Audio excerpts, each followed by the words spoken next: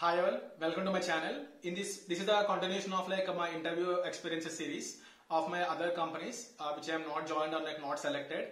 So uh, I just want to state the lessons I learned and also what are the questions I have asked and uh, questions asked and also difficulty. So and also this video is about like Salesforce interview experience. The, in this video I'll talk like whether really uh, learning only data structures will get you a job or not. So now let's see. Uh, I have talked about how I got the opportunity as as a as usual in my previous uh, videos. And second one, uh, uh, what is the difficulty of like OA round and what is the difficulty of like interview rounds and uh, managerial rounds. So first, let's see how I got the opportunity. So so uh, so I know about the Salesforce website. So I have gone through the Salesforce website and also career links everything. So uh, in that uh, I'm I'm consistently applying the uh, uh, different different company different different uh, roles in the Salesforce. So none of the roles are getting selected. But what I did is like I so I have subscribed the openings Salesforce openings. Uh, so whenever any job opening will come, right, they will send the email to us. So as soon as I get the email, in a in a minute, I applied the applied to the company directly applied. So then I understand like if you are applied in five to ten minutes of oh, job opening, right, there is high chances of getting uh, your resume as like shortlisted if your resume is good enough. So my resume is is fairly good. So uh, I got a I got a shortlisted um, message mail from the recruiter and recruiter recruiter called me and uh, asked me my available time to schedule the interview. So this happened in COVID time. So um, so and also that time I'm slowly starting this uh, uh, this DSA kind of thing, and uh, I am much into DSA and completely ignore some of the Java basic concepts. So I'll, I'll explain uh, to you more. So first is like OA. So OA is purely based on like uh, coding questions. They have asked me similarly, I think uh, three or two coding questions. I'm not remember, but I think time is around 60 minutes. So I think there are three, I guess, or two. So uh, one question is easy, one question is medium, and third one is very hard. I'm not able to solve that one. Still remember. Only few test cases are passed, but uh, after the OA round, it's mostly talked about like all were dynamic program questions only. So so first one is hash map question I'm able to solve, and rest two are like DP questions. So after that round, uh, so interviewer called me like she said, uh, you're uh, gone through this uh, OA round. Uh, uh, tell me the available time to schedule the tech, first technical round of interview. So uh, I have given this available time. I took almost one week time to practice uh, all these problems. Now this time uh, uh, she like uh, the interviewer is she like she asked me the first question uh, is like mostly my about my project uh, uh, everything and straight away she jump into the coding question. So the coding question she asked me is like a DP problem. Uh, uh, so uh, actually, I just started DP. That's why I'm very much new into this DP because I'm very scared about this DP at that time in uh, two years back, right? So I'm I'm able to think a solution. I give an approach, but that is a brute force approach, which she is not very very satisfied, and asked me to optimize. So I know the recursion concepts very basics. I think of recursion. So and I'm trying to and try to answer uh, recursion recursive approach. She said uh, it also might not be the best complexity but uh, but there is some other way to achieve the best complexity. So i think a lot uh, to get this uh, so mostly i think i need to use a dp like storing the data. It's mostly it's a kind of cricket game i think. So counting 6 4 2 uh, something some kind of cricket game so i have given so it finally I said I'm not able to get the optimized solutions, and then he asked, she asked me to code in a that whatever second approach which I told, recursive approach. So then I have coded in recursive approach. It has lot of uh, I think edge cases. I have missed a lot of edge cases. So she said she pointed out like you have missed a few edge cases. So then I'm, I'm trying to uh, find out edge cases, and I'm trying to I try to address. Yeah, I'm trying to address edge cases, but uh, she somehow convinced so the second she in, second she asked about uh, uh, about like uh, what are the what are the backend development I'm doing like. So I told uh, I'm currently backend like working on like Spring Boot microservices. Then he then she asked me she given a problem statement called GitHub. Uh, let's let's assume uh, GitHub GitHub has like a notification uh, webhook is there, right? You need to uh, read a data. Uh, you need to first you need to there are like two APIs are there in GitHub. One is like push the data into push the data. Second thing is like read a data from the webhook. So he asked me, she asked me, she asked me to design an API. So first I, I, I took around five minutes of time to understand the problem statement. This is the because uh, this is not a DB, DB like a data structure, right? This is something different. So which I'm not very familiar. So uh, once I got the requirements clear, then I have uh, okay. Then finally I drill down. Okay, she's asking me to implement a REST API. So then I have declared a REST template uh, class in the Java uh, uh, in the in a, in, a, in the Java. So REST template, REST template dot uh, get call, post call, and also what is the path I'm and how I pass the path and how I send the parameters.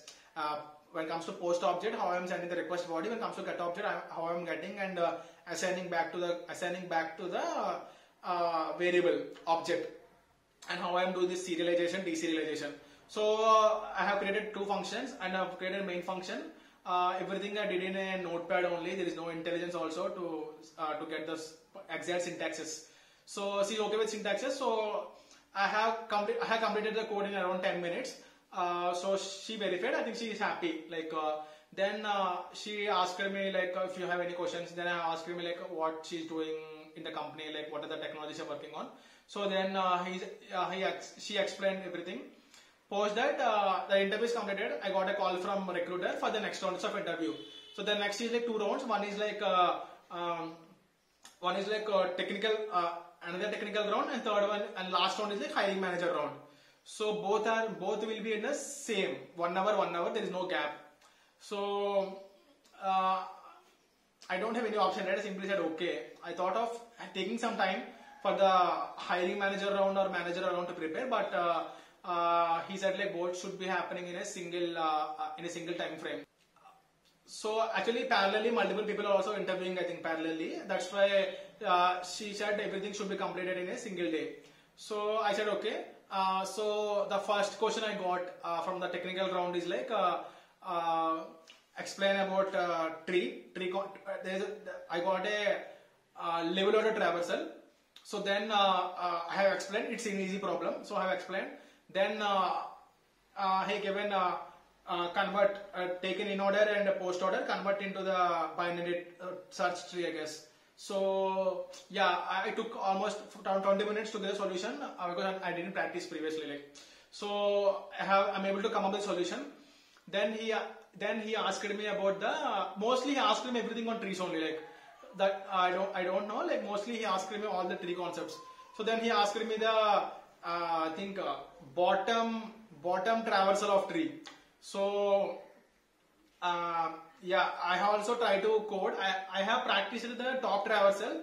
So uh, previously, then I thought of it's a variation of uh, that one. So I have given the approach of bottom traversal with the help of hash map uh, storing those indexes uh, and storing the levels and uh, levels and left and right in left and right increment values so yeah so i think uh, that's that went well uh, uh, so the next is the hiring manager round so now let's see like all the DSA rounds are went well. I thought of I might get offer if I'm gone to this hiring manager round.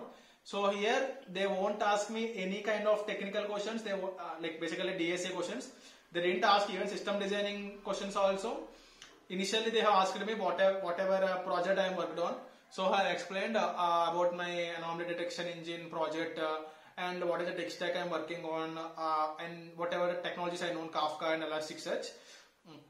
Then he asked me the question about Java internals which I didn't even know, I didn't even practice. So he asked me like uh, um, how you will solve the uh, I think uh, producer consumer problem. I think there's a famous concurrency problem, right? So he asked me that one. Uh, I don't know, but I'm, I'm, able to answer. Like I know that's blocking queue. So I told like uh, there is there is a like continuous deadlock will be there. to stop the deadlock, uh, we need a blocking queue, and uh, one thread will keep on pushing, and the second thread will be uh, will consume the data, and it, once it consume, it will be, it will be removed.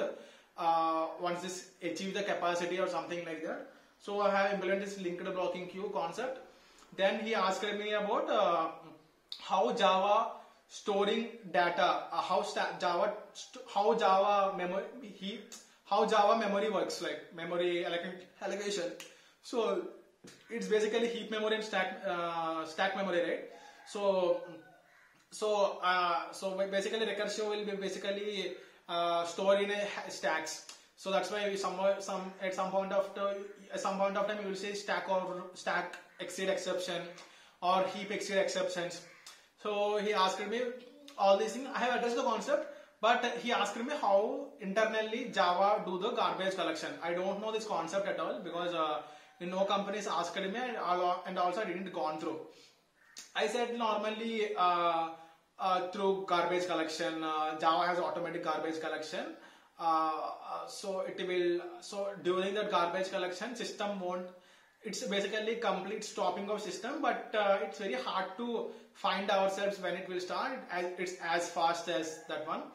So then he asked me, I'm okay, I understand the stack heap and uh, this uh, automatic, but I'm not, but I just want to understand how internally uh, it is uh, uh, collect, it is removing that unused objects, all those things. So this is, I'm completely blank out, like I don't even know anything. So I just think about like 5 to 10 minutes. I told like maybe new newly created objects, which are the objects which are in the particular function, right? Those will be cleared out once the function life lifetime ends, and uh, and also I didn't know, right? So I don't have proper answer.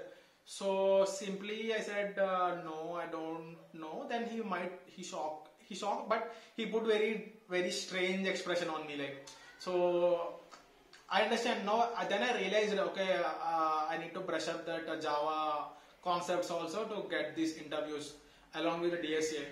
Uh, so it's basically learning curve me.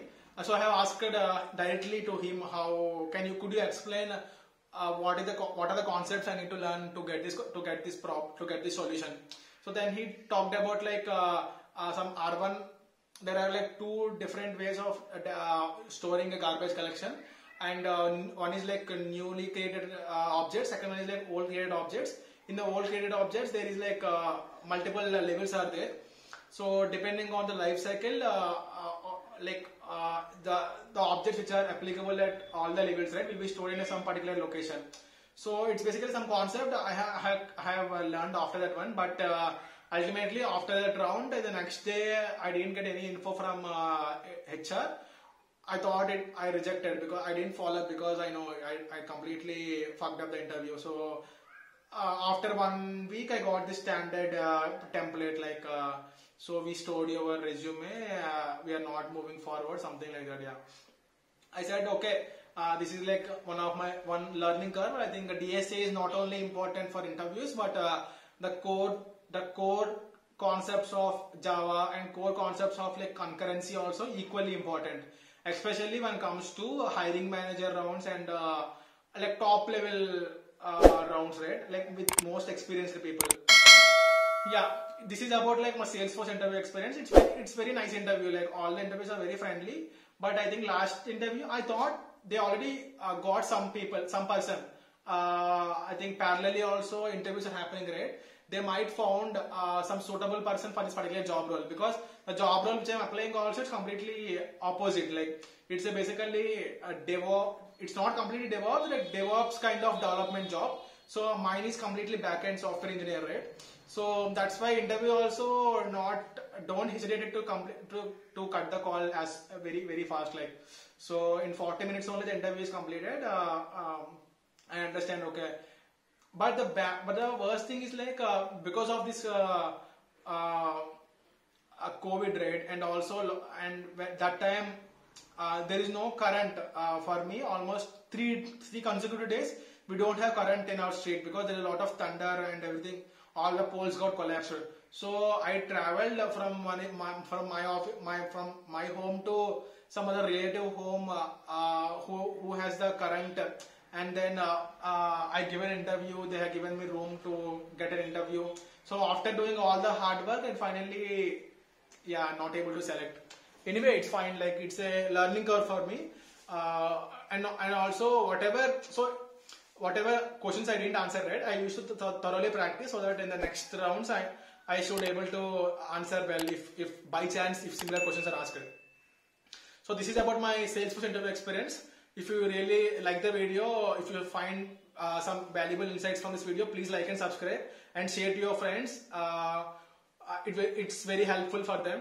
And we'll soon meet in the upcoming interviews. Uh, till then, bye bye.